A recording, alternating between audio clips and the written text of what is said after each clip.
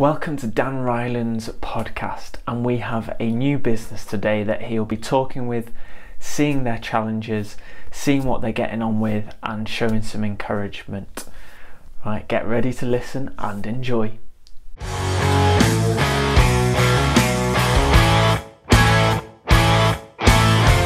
So you mentioned about um, yeah your studio kind of looking to shift into designing, um, and I thought it'd be great for you to just give a little bit of um, background on on what you're wanting to do, and then we can get yeah. into it. At the stage I'm at, I am trying to essentially put myself out there, get feedback, um, and get the the kind of story of what I do kind of clear to other people. Mm.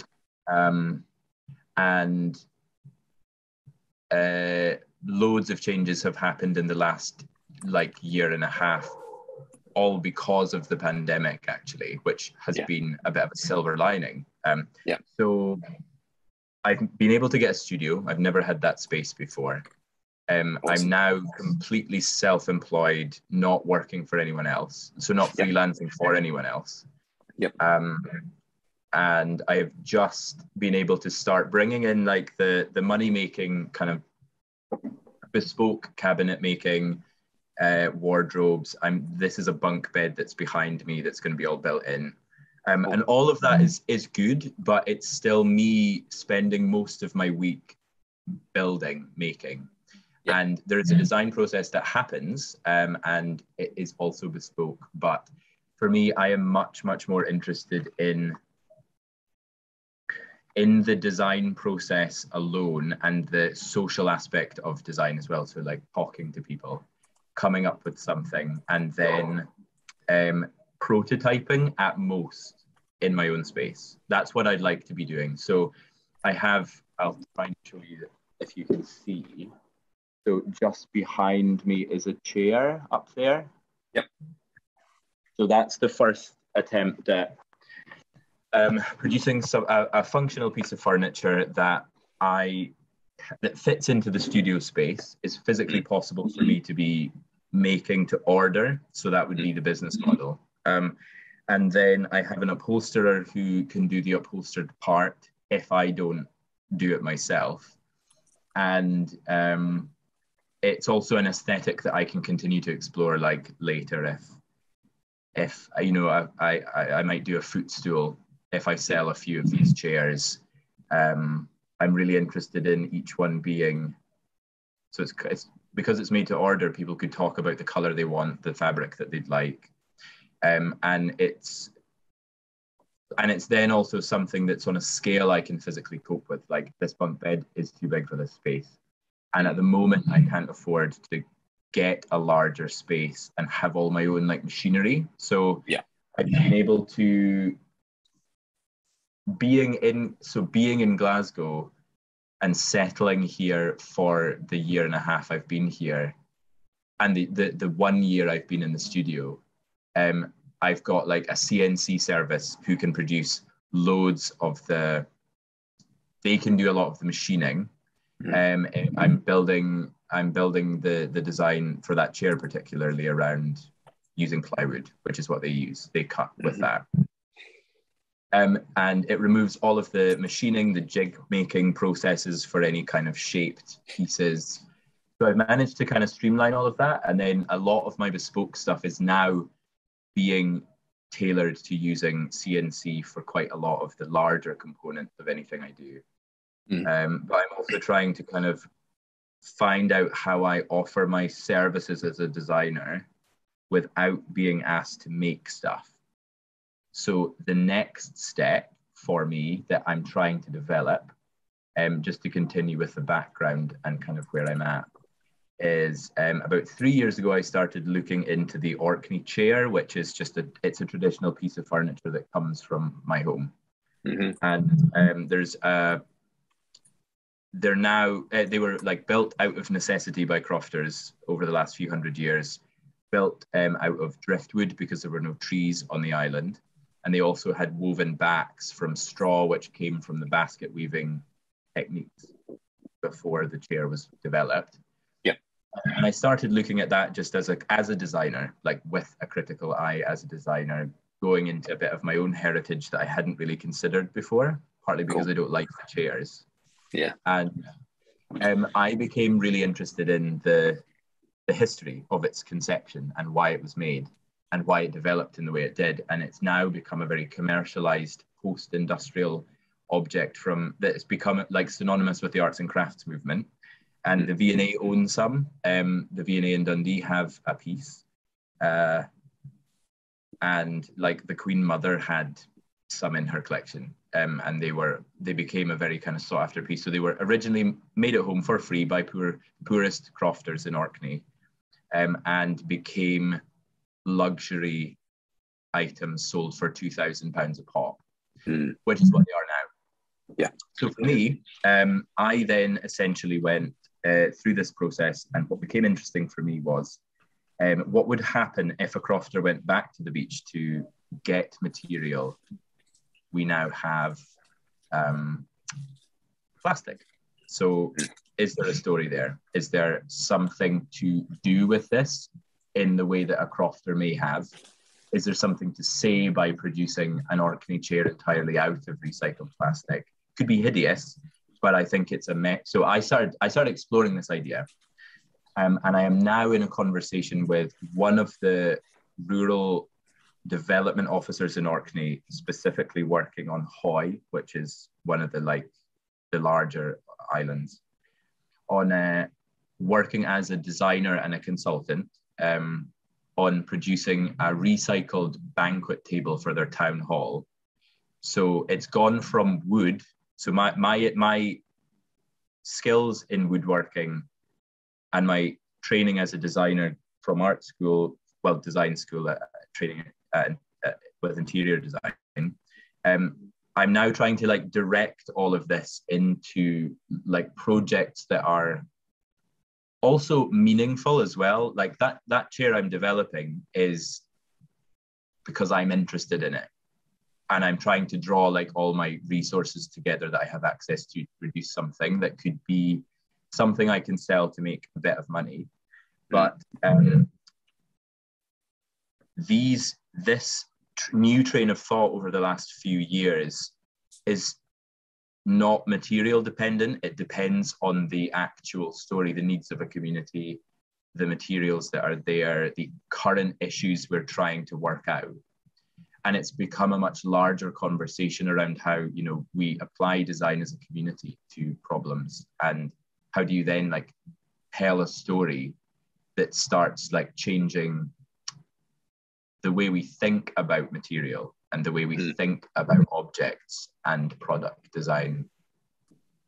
So that's kind of where I'm at. So I'm, I'm now like trying to get this project started. The community development officer is looking at funding to get me employed, um, but I will probably work a lot more than any sort of budget would pay for yeah. because this is the start of and I get to go home, you know, like I'd be going back and forth to Orkney working with a community I, I'd be really interested in continuing to work with. Yeah. I've then spoken to Strathclyde University about prototyping with 3D printers. Mm. That's a project. Yeah. That's not quite getting traction. Um, and then I'm about to go to London on Wednesday to discuss a much broader, zoomed out conversation about how we change our views of plastic. It's become mm about plastic. Yeah. Um, yeah. Uh, by studying the Orkney chair and its history and the way people interacted with materials, it's now like drawn my attention to a totally different material I have no experience with. So this is the this is the interesting thing where I'm not qualified to talk about plastic, but I'm definitely qualified to ask about it mm. there are a lot of big questions that I can still apply myself as a designer and a product designer to. So yeah, um, I, does that make sense? I, sh- I should probably stop there. Yep. Yeah, I think it's exciting that you're kind of, it's really clear that you're going through a really inspiring kind of self discovery journey of one from a like a hands on kind of your career piece, but also your heritage and stuff, which is really exciting. Are you documenting any of that um, in written format or video format or anything? Yeah. One thing that lockdown afforded me was time to focus on it. So mm. I basically gave myself a brief of like, get everything that you're at right now, mm. uh, bring it all together and get it into at least an A4 sheet of paper yeah. that summarizes everything. So I could send that to you. Um, and another thing is, I am terrible at writing. So it's been quite good to give myself like an like a, a there's an application to me writing about something now. I have mm. to get the idea across. Um, so I've now actually felt a lot more compelled to write about this subject, which is nice. Mm. I would um, also not feel pressure. Like I'm, I'm, I don't like writing because it it takes too long to figure out the correct words to convey the idea. I much prefer telling someone because naturally writing something is a bit harder for me to to do. I much prefer conveying an idea through spoken. So I, I would also say, as part of the switch from hey, I don't want to just produce. Um, I, uh, I like design and produce. I want to more so design. So it sounds like you've got the right connections to delegate some of the creation, which is good.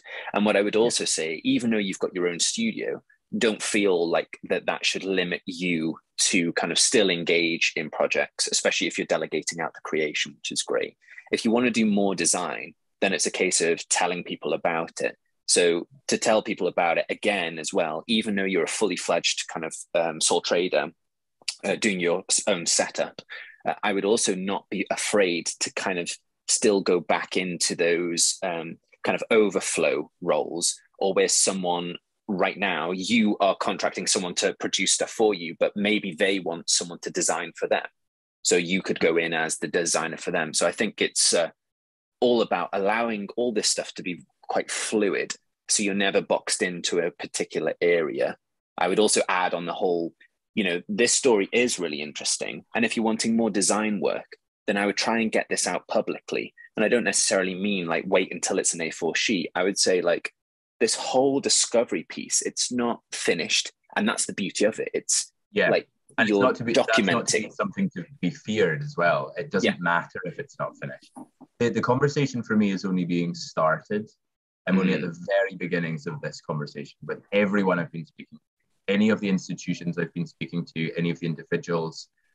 Um, something so you saying don't worry about like getting it on paper yet is good because um the really interesting thing about this this like the subject of changing how we re of reevaluating plastic culturally i mm-hmm. i want to i want to reevaluate plastic to to an extent where i'm making people think about it as like should it not be as valuable and precious as gold mm. because it's so dangerous for the environment when misused as a disposable material.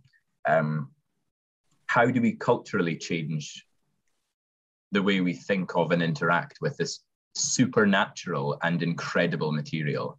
Mm. And I don't want, and I want the positive. I want the conversation to be positive. I don't want it to be like we have to. You know, I can't change the oil barons minds about producing an inordinate amount of disposable plastic. That's their yeah. business.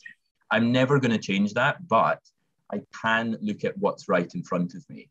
If I'm going to make a dis- and I don't, I don't want to shout about the negatives. I don't want to. I, I'd rather just do something positive that involves like more than just me. So this pro, this community project in Hoy, which directly connects me back to my heritage, back to home, mm. it also which gives me a bit more of a license to discuss it yeah. is is like the thing that's in front of me to do mm. and people are responding to that and another nice thing is that going down to london on wednesday um, this is me just being filmed talking about the project awesome. and what's nice is like i can and and this is also some friends of mine um, they're called Vibrate Collective, and the guy I'm working with is James. Uh, what's his last name? It's not too important for this. James. Um, he put a call out like maybe in June or something, saying like, does anyone want to collaborate like 50-50 on a project? Uh, Vibrate are looking for, you know, essentially folio work for them. And I said, like, I kind of jokingly said, this would be really good fun. And then he asked what I had in mind. And I thought, well, I actually do have something to talk about. Mm. Um, and so he is a filmmaker. Um, he has brought together a few people. And what I sort of then discovered was because he's London based, not connected to like my Scottish, my Orcadian roots or anything. Um, mm. I thought like maybe this is my chance to zoom out. So I've been zoomed right into um, how plastic works in Orkney and how yeah. we can be like how the Orcadian community can like show a way of like working through their heritage with this new modern material. How mm-hmm. can I then take this opportunity to zoom out and talk about the global aspects of our interaction with this material? Yeah. Which then relates to consumerism in general. It, it talks about globalism, the fact that like the materials that are made wash up on beaches elsewhere, which is, you know, mm. that's the narrative I'm kind of the story I'm telling about Orkney. Um, and can these things be opportunities? And so James like loved the idea of me talking about of like talking about plastic as gold or mahogany that you'd make a beautiful piece of furniture from. But how do you change? How do you start? And what you do is you start discussing it rather than yes coming up with the final product or the the solution all i want to do right now is have a dialogue with as many people as possible in as many different ways as possible and so i don't have any projects behind me yet and i'm going to be interviewed about something i have just started talking about mm-hmm. and i'm mm. not worried about that because it might just mean i'll meet the next person along the way that gives me the right connection um, so that's yeah. really encouraging actually to hear you I would also add, like, it, it's kind of like sometimes there's pressure as a creative, there's pressure to create rather than to document, right? And what I mm. mean by that is you've literally just said, I'm having all these conversations. Basically, you're doing a bunch of research. And if you could just record that research because you're doing it anyway and getting it out there, then as you said, you might connect to the next person in the conversation in that moment but also the publicizing of that conversation might connect you to someone else in the same way that someone else might be inspired and say hey i'm actually working on this project so so long as you're kind of you know so long as the pressure to make money um, is not too heavy on you then you could really go wild with the kind of documenting and recording videos. It could be just as an audio podcast starting to to pull this stuff together start to make a noise about it.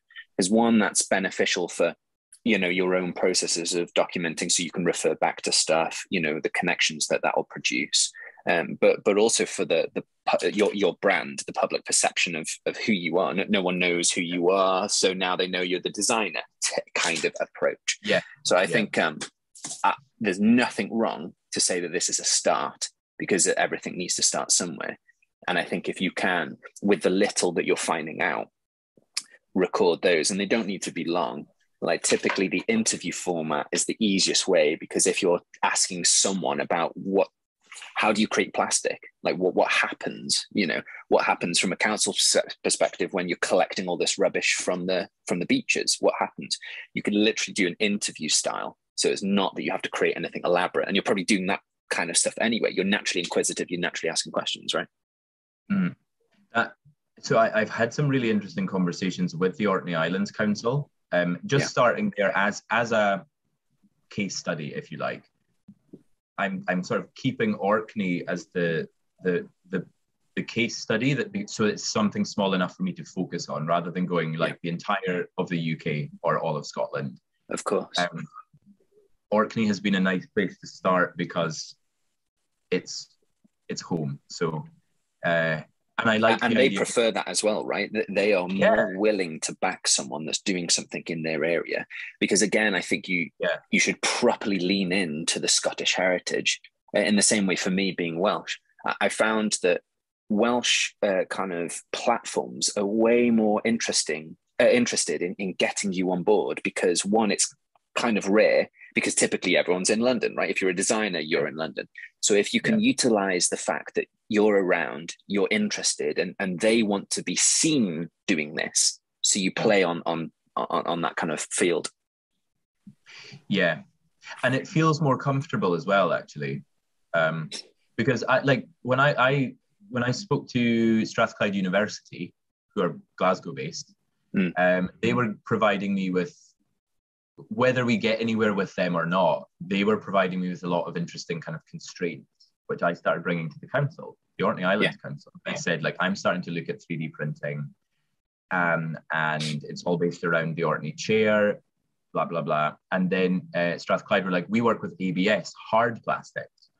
And I then said to the council, like, do you do anything with this plastic already? And they said, no, we send it to Shetland, like all the rest of our waste, to be incinerated. And it costs us money to do that. If you could come up with a project that offsets and diverts this from being, you know, incinerated and costing us money, then, and there's loads of it, then, you know, great, we'll back you, or you know hmm. whatever that means, whatever that backing means. Um, and then separately, uh, the the this project on Hoy with the, the community there has all come from a desire to reopen their public spaces, their community spaces. So mm. it's been hmm. about community, very much about community.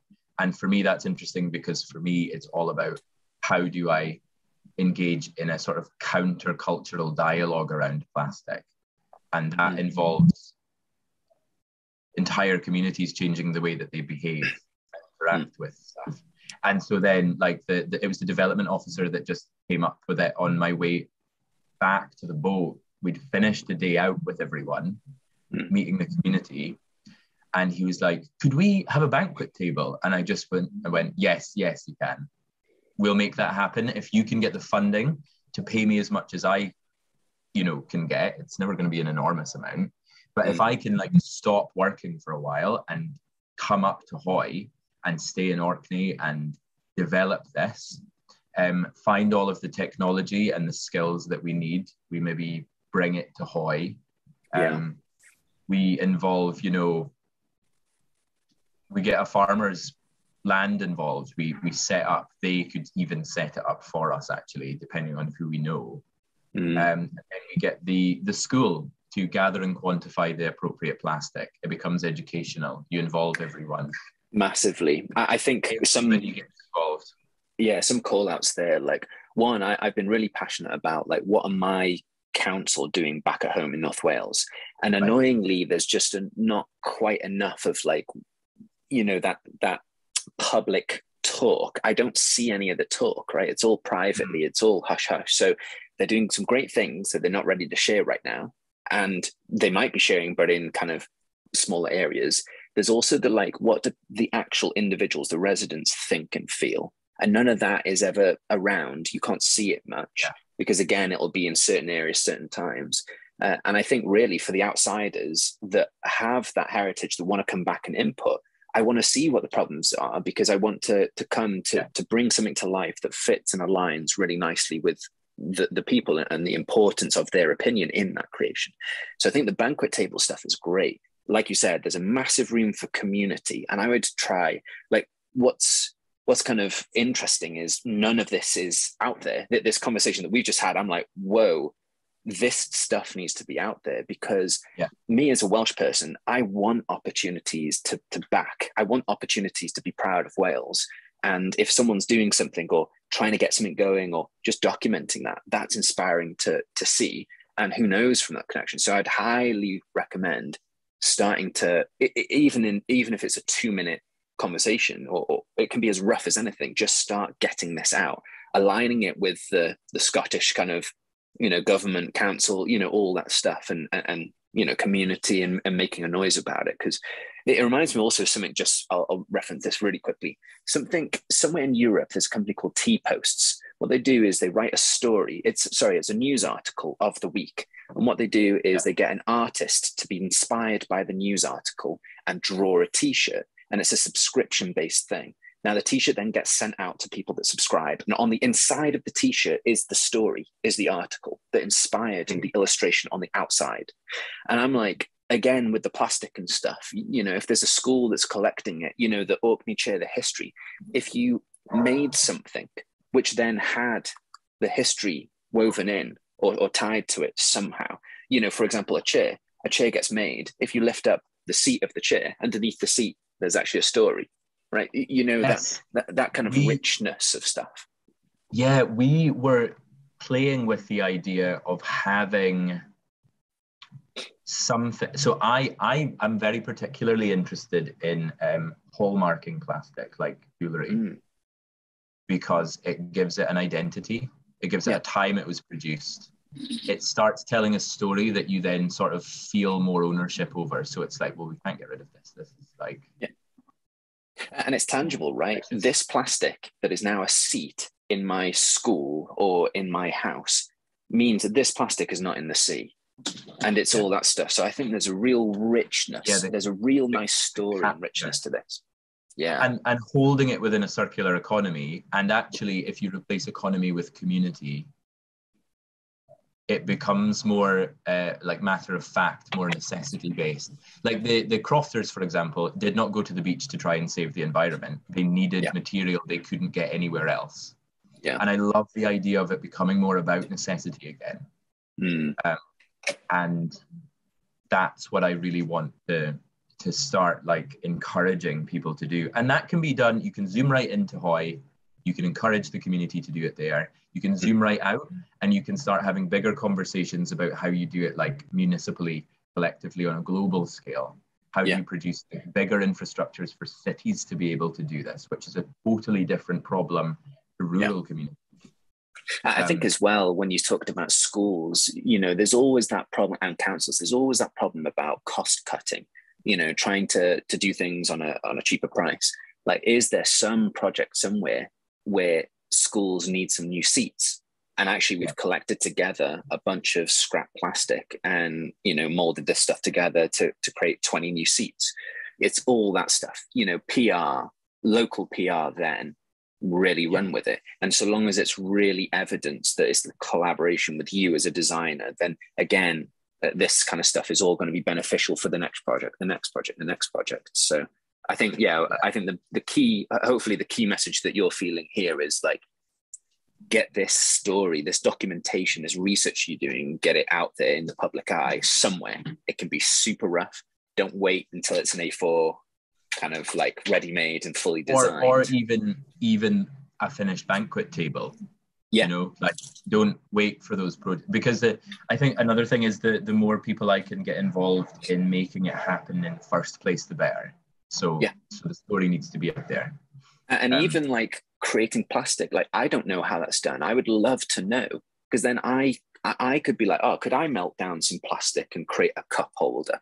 you, you know it's kind of empowering those like um, democratizing yeah especially those 3d printers the kind of the men sheds that uh, is a community movement and, and stuff as well so yeah th- there's something that i thought of as well just in closing there's a document uh, there's like a documentary kind of like tv show in america called the Profit and what they do is they have this businessman come into different uh, american companies that are failing and he comes in to kind of rework it to make them profitable. And I actually did it with a, um, a furniture manufacturer, uh, and it was quite interesting just to see the story and the and the heritage. And then he managed to turn them around because they designed three set styles and they sold it to a big um, kind of company. And I thought some of the just some of the story again the american heritage even though it's a, uh, like it's a real strange one because it's tainted with kind of some really nasty sides to American heritage, still they're very yeah. proud. So they then do this graffiti art of their heritage because it's actually three generations. And they do this massive graffiti art of this area that they love. And so, so again, it's the community, the story. How do you kind of integrate all that? So it might be with you just seeing it, just to be inspired, because that itself is documenting because this TV show yeah. exists of this thing. Uh, it's also turning them around to make them more profitable. But um, yeah, it might be really interesting for you to see and yeah i would encourage you to, to start documenting it oh but it's interesting from the kind of how do you make a manufacturing kind of design like furniture design profitable yeah. so there's that side but also just the the importance of the story their own heritage as a company or their own history as a company which is really cool But yeah, yeah, it'd be cool to chat again um, because I think there's some really interesting things, and hopefully, just as a creative, I really like hearing this stuff. So hopefully, you like sharing it. And um, yeah, I'd be more than happy if you felt uh, that you wanted to to book in another session that we have another half an hour, just going a little bit deeper yeah. again. I'm happy for it to be next week even. Uh, so I'll follow up with the link to this, like the Profit um, TV thing, just for context. And yeah, I would highly recommend starting to publicly document. It can be as rough as a as a YouTube video, as rough as just an audio recording on a podcast. Like it can be really well, rough. I'll have that like on. We're filming on Thursday in in yeah, and that's the perfect start. So that can yeah. be the starting point to then. Um, so yeah, don't don't wait for perfection and yeah. don't feel like That's, you need things worked out. Yeah, I need to hear that biggest flaw. I don't get anything. We all do. Yeah, yeah, we, we all do. And I think the create uh, the the the journey in itself is inspiring. Yeah. Already exactly. you've not created, you've not created anything. You've just shared with me for half an hour. I'm super inspired by what you're doing. So I'm like, other people will as well. And you've not created a single artifact in a sense of a chair or, or, or kind of the typical artifacts that you create. Right? Yeah. So the story in itself is the inspiring part. That's really, really encouraging. I'm so glad we've been able to chat. Uh, yeah, it's, well. re- it's really cool. And it's nice that it's a mix of industries. I'm glad you didn't feel put off that you're doing kind of physical design because um, I do more digital design. So, yeah, I think this has been great and hopefully we can chat again next week or or in, in a couple of weeks time for a, another half hour amazing well if you'd like we could do next week um, because everything i will have just done will be super fresh as well yes let's uh, do because it the, the producer is going to call me before the interview because i've not mm. met her yet yeah um, and uh, i'm going to have to sort of do this with her yeah. And she will be giving me feedback in order to produce something visual. So there's, I'm really interested to know how this conversation like continues in the next week. Yeah, and you should record that and put that as part of the documentation, right? As part of the journey yeah. thing. Hey, I had this chat with this producer. It was really interesting. You know, yeah. if you if you're fascinated by this stuff, by community, by you know environmental stuff, like sign up to this email list you know then you start kind of building that community up in the background ready for when you need people to collect plastic for you you know so. yeah yeah when we do a big Bag the Bruck session in orkney which they do all the time yeah. I, I, basically just have to go and join the wave that's what mm. people are already discussing it and asking questions yeah precious hashtag precious plastics all mm. that's happened already and none of it's new it's just how do you add your voice? How do I, as an individual yes. designer, add my voice to a bigger community kind of conversation? And it's yeah. not about what I'm looking at and asking questions about mm. for everyone else's benefit. Like that is what being a designer is. Yeah, definitely. You're asking the right questions, even. You know, just asking the right yeah, questions is the right questions. Yeah. yeah, is the value. So yeah, but yeah, really good chatting with you and enjoy the rest of your day. Thank, thank you All so right. much for your time.